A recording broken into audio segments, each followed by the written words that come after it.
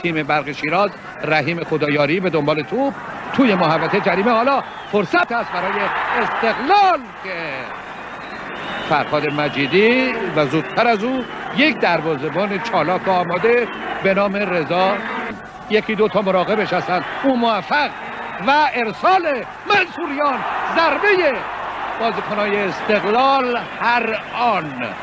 بوی گل رو به مشام شما میرسونه یک بار دیگه از چپ. چینی.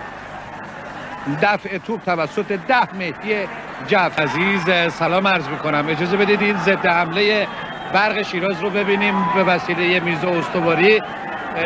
چه خواهد شد فرصت برای بازیکنان برق شیراز؟ بسه تمیز برای تیم استقلال تهران تا لحظات دیگر انجام خواهد شد. و یار شماره 20 محمد تقوی از بازی بیرون میره و اکبرپور بازیکن مؤثر استقلالی ها حالا به بازی میاد.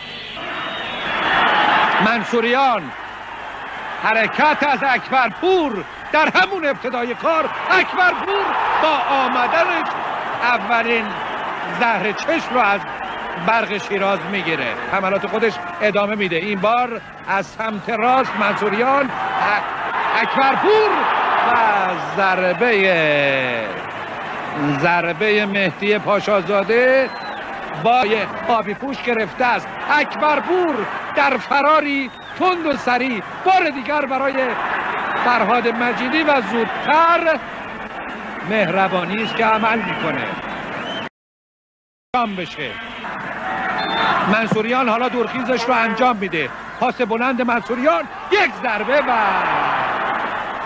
باز هم حمله از استقلال منصوریان. یک بار دیگه بلند برای منصوریان. فرصت برای استقلالی ها شوت از راه دوره علی چینی. در صورت استقلال رو به گل میرسونه. استقلال یک و برق شیراز صفر. استقلال با ضربه سرکش علی چینی یار شماره سه در این دقیقه به گل می‌رسه. برو در اختیار همکار عزیزمون آقای یعقوبی.